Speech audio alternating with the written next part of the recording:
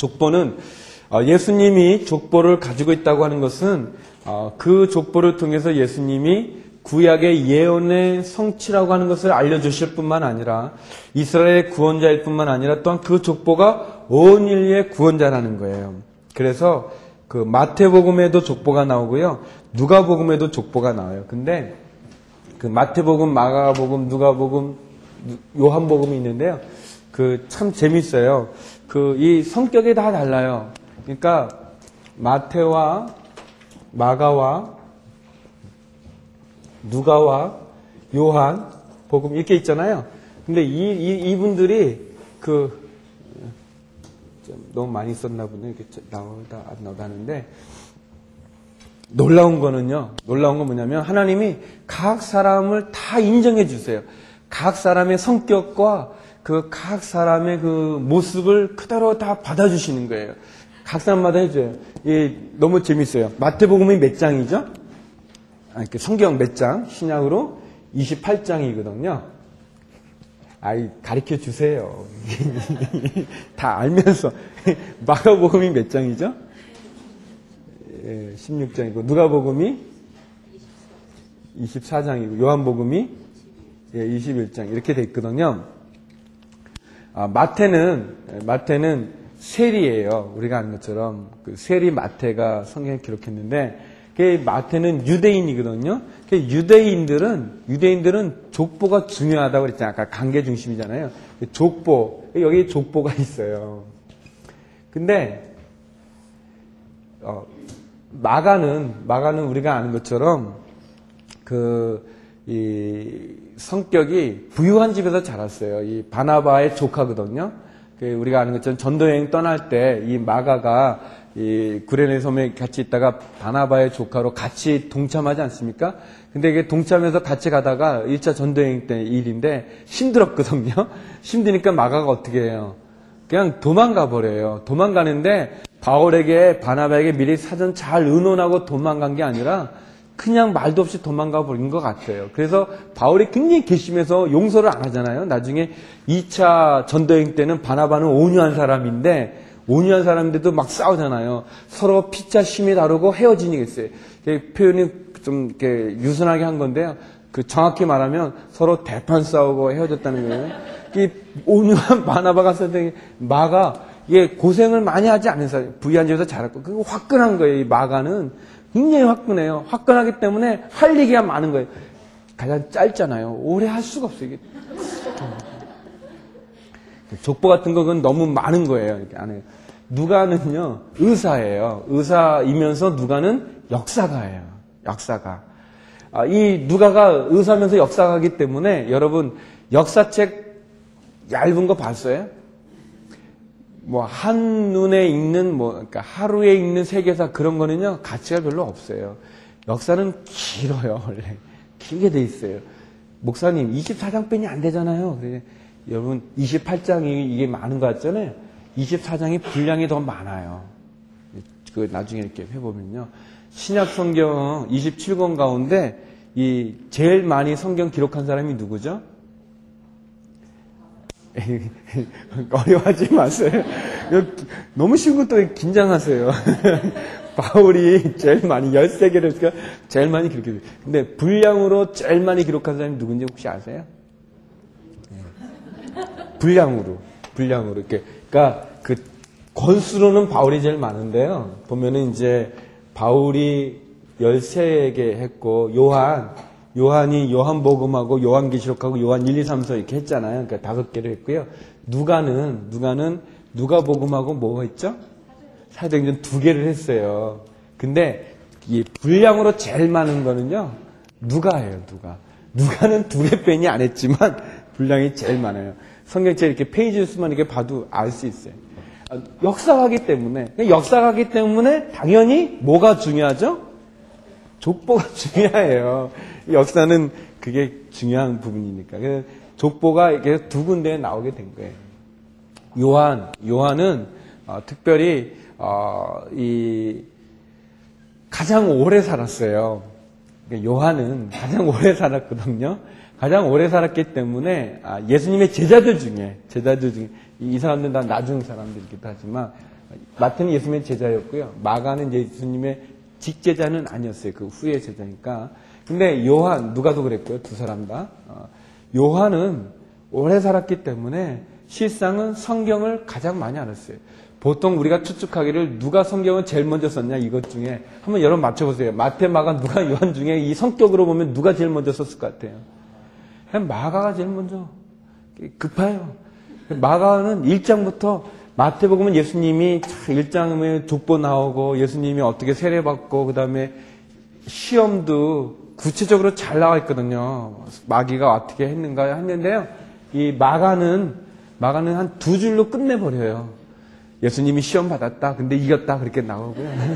그러니까 화끈해서 기적이 제일 많이 나와요. 신나는 거예요, 마가는. 확실한 거, 방역에. 빨리 1장부터 예수님이 귀신 쫓아내는 일이 나오고 그래요. 다른 건 다 좀 나중에 나오거든요. 예수님이 어떻게 돼요. 누가는요, 예수님의 탄생에 대한 얘기가 마태와 누가복음에만 나와요. 어린 시절에. 그것도 다 그런 게 있는 거예요. 예, 역사 어떻게 했는가. 어, 마태복음에는요, 마태복음에는 목자들이 나온 게 나오거든요. 누가복음에는 누가, 아, 저기, 실수, 저 누가복음에는 목자들이 나온 게 나오는데요. 마태복음은 이 동방의 박사들이 온 게 나와요. 왜? 마태는 유대인의 왕으로 오신 예수님을 그리고 있는 거고요. 누가는 인간, 그 인자, 인간의 오신 모습을 남겨요. 목자는 가장 낮은 계급의 사람들이, 낮은 계급이 와서 경배드린 게 누가의 이야기고요. 동방 박사들이 오잖아요. 그거는 이제 또 왕으로서의 그런 차이가 좀 있어요. 마가 탄생 기사 없어요. 예수님 어리시도 없어요. 그거보다는 귀신 쫓아내고 기적 베푼 게 나와요. 그래서 16장 빼니 안 되지만 굉장히 그 여러분 예수님 전도한 다음에 그 사람이 화끈한 거 좋아하고 막불 같으면요 마태복음 읽히면은 안 믿는 거예요. 너무 지루해가지고 답답해서 그런 분한테는 마가복음을 읽히면은 딱 맞는 거예요. 화끈하고 좋은 게 요한은 오래 있었기 때문에 특히 그리고 헬라 철학가 그 사람들에게 복음을 전하기 위해서 철학적인 관점을 가지고 많이 조정을 했어요. 그래서 요한복음에는 어떻게 나오는가 보면은 태초에 말씀이 있다라고 했어요. 말씀. 근데 말씀이 로고스예요. 로고스. 말씀을 로고스로 보고 그, 그 말씀 이 로고스가 우리 한문 성경에 도로 나오거든요. 최초에 도가 있었다 뭐 이렇게. 그래서 요한은 이제 뭐 일곱 가지 뭐 내가 진실로 진실로 너희에게 이르노니 뭐 나는 뭐 양의 문이다. 뭐 나는 선한 목자 뭐 이렇게 그런 쪽으로 이렇게 좀 나가면서 달라져요. 그래서 만약에 그 사람이 역사에 좀 관심 있고 좀 사실적인 거 따지기 원하면 누가복음을 익히면 너무 좋아해요. 자세하게 나왔어요. 역사적인 배경을 가지고 나왔고 그 사람이 어떤 이적을 좋아한다, 기적을 좋아한다, 화끈한 걸 좋아한다면 그냥 마가복음을 익히고요. 어, 그 다음에 어, 그 사람이 좀 철학적인, 좀 이렇게 지적인 것이 좀 이렇게 논리적인 걸 좋아하고 그런 사람들한테는 요한복음 익히면 좋아요. 이게 좀 다 달라요. 근데 아무튼 족보, 족보 얘기하는데 이 족보가 두 군데 나오는데 마태복음은 마태복음 족보는요.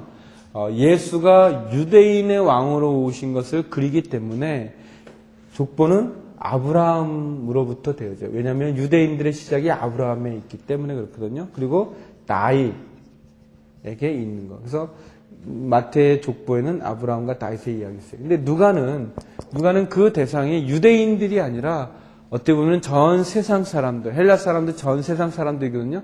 그래서 아브라함까지 간 게 아니라 누가의 족보는 아담까지 가게 되는 거예요. 아담까지. 또 마태의 족보의 주 흐름은 요셉.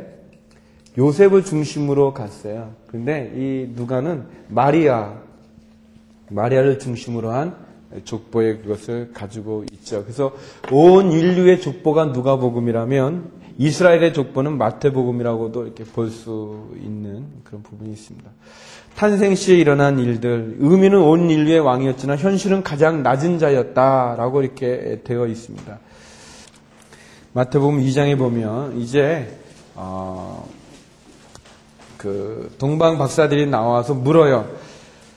왕으로 나신 이가 어디 있습니까? 이렇게 물어했더니 5절에 4절 5절에 보면 대제사장과 백성의 서기관들이 말해줘요. 아 예수님 베들레헴에 납니다. 예수님이 아니라 이제 메시아가 베들레헴에 납니다. 선지자 미가 선지자의 말을 6절 같이 한번 읽어볼까요? 시작. 또 유대 땅 베들레헴이야 너는 유대 고을 중에 가장 작지 아니하도다. 내게서 한 다스리는 자가 나와서 내 백성 이스라엘의 목자가 되리라 하였음이니라. 예, 여기 보면 베들레헴 아 너는 작지 않다. 이게 좀 반어법적인 표현이에요. 뭐냐면 가장 작은 거예요. 베들레헴은 작은 거예요. 그러나 너는 작다지 마라. 왜? 너에게서 유명한 사람이 나온다는 거예요. 한 다스린 자가 나온다는 거예요. 어, 여러분이 이제 이제 그 뭐 진짜가 아니라 예를 들어서 이제 우리가 성경탐구 요번 요번 기수에는 특별히 드란노에서 이스라엘 여행권을 줬다. 진짜가 아니고요. 이렇게 예를 들어서 준다 그러는데 그 항공권을 딱 받았는데 거기에 뭐라고 되냐면 두 도시만 방문할 수 있다 그렇게 돼 있어요. 그래도 좋죠. 어, 뭐 예를 드는 거지만 기분은 좋죠, 여러분. 그런데 그럼 여러분 두 도시 어디를 방문하겠어요? 예루살렘에 가고 어디 가겠어요? 베들레헴에 가죠. 예수님 태어난 곳. 지금도 성지순례하는 많은 사람들이요. 베들레헴에 꼭 가고 싶어해요. 태어난 곳. 베들레헴은 팔레스타인 지역이거든요. 뭐 아라파트 돌아가셨잖아요. 이제 그런 그 팔레스타인 지역에. 그래서 실상은 전쟁이 있고 그러면 못 들어가거든요. 근데 저는 거기 가봤어요. 베들레헴에 가봤는데 예수 탄생 교회가 있고요. 그 안에 그 예수님 탄생되어지는 곳에 이렇게 여러 가지 많은 게 있어요. 많은 사람들이 이렇게 거의 참배하고 있어요. 제롬 성경이라고 있어요. 근데 그, 그 제롬이 거기서 살면서 거기서 살면서 그 성경을 번역을 했었던 그런 곳이고 아무튼 굉장히 유명한 그런 곳이에요. 왜 베들레헴을 꼭 가고 싶어 하는가? 거기에 예수님이 났기 때문에. 시상 베들레헴은 유대골의 아주 자그마한 보잘것없는 볼품없는 동네였는데 거기에 예수님이 남으로 그 베들레헴이 큰 도시가 됐어요. 유명한 곳이 됐어요. 여러분, 어, 저와 여러분이 실상 어떻게 보면 별 볼 일 없을 수도 있는데 연약한데 부족한데 주님이 우리에게 오심으로 우리가 의미를 갖는 거예요. 마치 베들레헴아 너는 작다 말하지 마라라고 말한 것처럼 우리는 작고 우리는 연약함이 있지만 주님이 우리에게 오므로 그런 은혜가 있는 거예요. 주님이 내 인생에 의미를 주신 그런 거예요. 근데 여기 보니까 7절에 헤롯이 박사들을 불러 별이 나타난 때를 자세히 물었다 그랬어요. 그리고 이제 아, 내게 말해달라 그랬어요. 그런데 10절에 보니까 별을 보고 기뻐했어요. 예수님이 태어난 곳에 별을 보고 기뻐했어요. 근데 11절 같이 한번 읽어보죠. 11절 시작.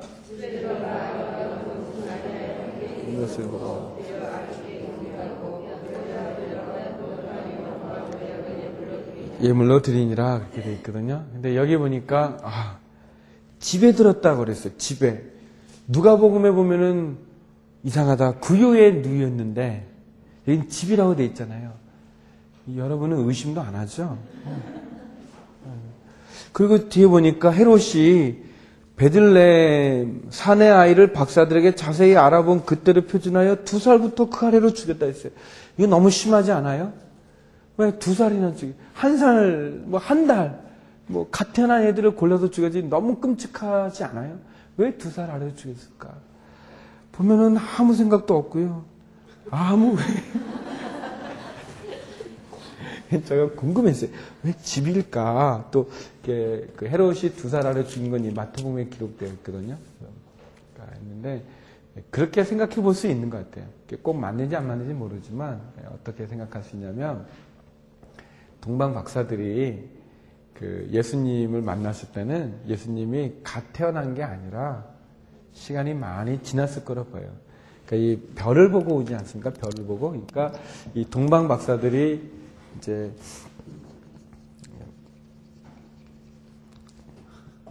동방 박사들이에요. 근데 별을 보고 큰 별을 보고 보았어요. 아 위대한 사람이 났다. 이 별은 예수님이 태어나셨을 때 나타났던 것 같아요. 그래서 그들이 동방에서 왔다는 가 주로 이제 페르시아로 생각되어지는데요. 오는 기간에 시간이 많이 걸렸던 거예요. 많이. 시간이 걸려서 와서 이 별을 보고 갔어요. 그러니까 이 기간, 그래서 이 헤롯이 별이 나타난 때를 자세히 물었다고 그랬잖아요. 그거 별이 나타난 때를 기준으로 두달 아래로 죽였다는 거잖아요. 그러니까 이 동방 박사들이 아마 1년은 넘는 긴 시간을 여행해서 온 걸로 알아요.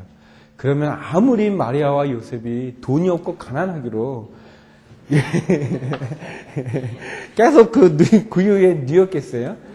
이게 이제 집에 갔다. 그게 이제 제가 생각해낸 꼭 진리는 아니니까. 그렇지만 재밌죠?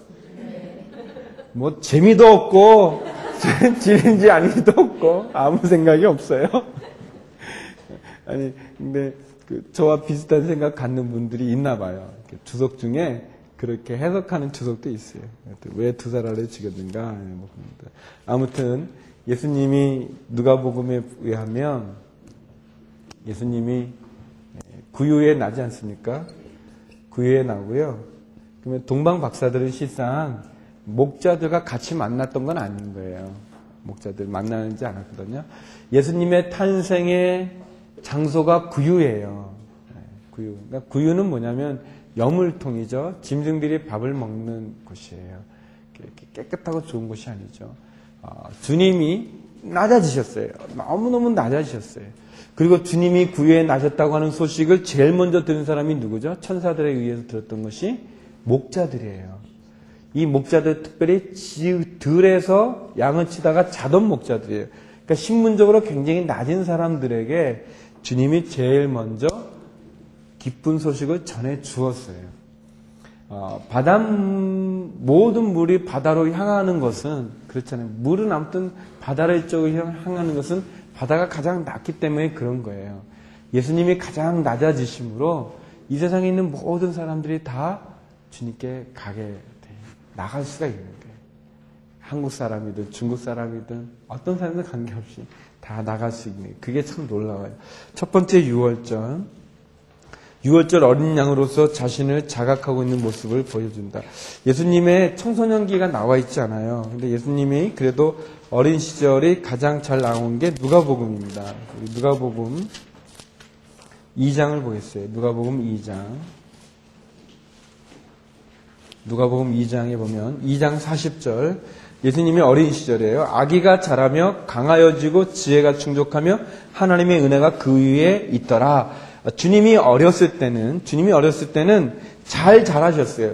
또 지혜가 많았어요. 하나님의 은혜가 그 위에 머물렀어요. 여러분, 여러분의 아이가 어리다면 깐난 아이라면 그 아이에게 하나님의 은혜가 머물고 지혜가 충족하며 건강하게 잘 자라기를 구하십시오. 그리고 주님이 6월절에 해마다 6월절인데 12살이 됐을 때 12살이 됐을 때 이제 예수님도 그 전례를 따라 전통을 따라 6월절로 올라가는 거예요. 올라가는데 어 거기 올라가 가지고 예수님을 잊어버려요. 이 부모들이. 그래서 48절에 보면 아이야 어찌하여 우리에게 이렇게 했느냐 아버지가 너를 찾느나 그래요. 그랬더니 49절 같이 한번 읽어보죠. 시작. 예수께서 가라사대 어찌하여 나를 찾으셨나이까? 내가 내 아버지 집에 있어야 될 줄을 알지 못하셨나이까? 하시니 내 아버지 집에 있다고 그랬어요. 어, 예수님이 12살 때 자기의 정체성 자체가 그렇게 깨닫게 된 거예요. 성전에 올라갔어요. 근데 주님이 성전에 처음 올라갔던 때가 6월절이었어요. 6월절. 어, 그리고 52절에 보면 주님이 그 지혜와 그 키가 자라가며 하나님과 사람에게 더 사랑스러워 가시더라. 주님이 자랐던 어린 시절이 하나님에게 사랑받고 또 어, 사람들에게 사랑받는 그러한 시간을 보냈어요. 예수님의 6월절 관련돼서 거기 좀 적어 있는데 먼저 12살 때 처음 성전에 올라간 날이 6월절이었고 또 공생의 기간 동안 주님은 매년 6월절을 올라가셨고 십자가에 죽으신 날도 6월절, 최후의 만천도 6월절 식사, 또 십자가에서 뼈가 꺾지 않았어요. 다른 두 강도는 꺾었는데 주님은 꺾지 않았어요. 왜 안 꺾느냐? 6월절 어린 양으로서 6월절 어린 양은 뼈를 꺾지 않았어요. 이것을 다 하지 않죠. 어, 그런 모습으로 어, 이렇게 보여준다. 그것이 예수님의 어린 시절입니다. 한 장 넘겨서 어, 거기 보면 예, 어렵지 않은 문제 같아요. 공생애 예, 공생애 보죠. 어, 예수님의 공생애는 교육과 성교와 치유라고 하는 것으로 정리해 볼 수 있습니다. 우리 106쪽을 보죠. 예수님의 공생의 줄거리 요약을 같이 보겠습니다. 한번 읽어볼까요? 시작. 하나님 나라의 회복을 위해 교육, 성교와 치유의 사역을 하셨다. 예, 예수님은 교육과 성교와 치유의 사역을 해요. 근데 여러분, 예수님의 나이가 나이가 몇 살로 우리가 얘기하죠? 33살이죠. 근데 예수님이 33살 사셨다라고 하는 기록이 성경에 나오나요? 가만 보면 그 여러분이 믿음이 더 좋은 것 같아요. 저는 33살이라는 거는 안 나와요. 어, 목사님, 여러분의 눈초리가 그래요. 목사님, 의심하지 말고 믿으세요. 너희는 나를 본 거로 믿느냐? 보지 않고 믿는 게 더 복되도다. 도마에게 하셨던 말씀을 저에게 해주는 눈빛들이에요. 여러분의 눈빛이. 근데 어, 예수님의 나이가 33살이라는 거는 없어요. 근데 우리가 왜 33살로 알고 있는가? 어, 예수님의 나이를 좀 표현한 게 성경에 두 군데 나와요. 우리 한번 찾아볼까요? 누가복음 3장 23절이에요. 누가복음 3장 23절.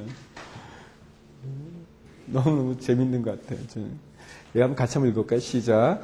예수께서 가르치심을 시작했을 때 30세쯤 되었더라. 예, 거기 보면 30세쯤이라고 그랬어요. 예. 그래서 30세쯤 되었다라고 보는데 우리가 왜 예수님 나이를 33세라고 말하냐면 예수님이 공생을 시작했을 때 가르칠 때 33세쯤 됐는데 6월절을 세 번, 세 번 지키게 됐어요. 주님이. 그러니까 31살, 32살, 33살 그리고 돌아가신 날이 6월절이잖아요. 아, 그러니까 3년 공생을 하셨구나. 그게 이제 요한복음과 다른 복음서들을 통합해서 이렇게 보면 예수님이 아, 세번 올, 매년 예수님이 올라간 걸 우리가 알 수 있어요. 그래서 플러스 3을 해서 아, 33세다 그런 게 있어요. 그런데 여러분 혹시 아는지 모르겠는데요. 또 하나의 설이 있어요. 그건 예수님이 53세다라는 그런 거 있어요. 처음 들어보죠? 여러분이 믿음이 좋으셔서 그래요. 예, 요한복음 또 한 군데 나와 있는 성경이 있는데 요한복음 8장입니다. 요한복음 8장 57절. 요한복음 8장 57절에 보면 예수님이 어, 그이 유대인들하고 변론했어요. 얘기를 약해요. 쭉 하는데 아브라함 얘기하니까 너가 아브라함 때 살았냐 그런 거예요. 근데 예수님이 나는 아브라함보다 아브라함이 못 본 것도 나는 봤다. 아브라함 때 내가 있었다. 이게 예수님이 얘기하는 거예요. 그랬더니 이 유대인들이 말하는 거예요. 같이 한번 읽어보죠. 시작. 유대인. 예. 그러니까 유대인들이 말하는 게 예수님의 나이가 나온 게 요 딱 두 곳이거든요.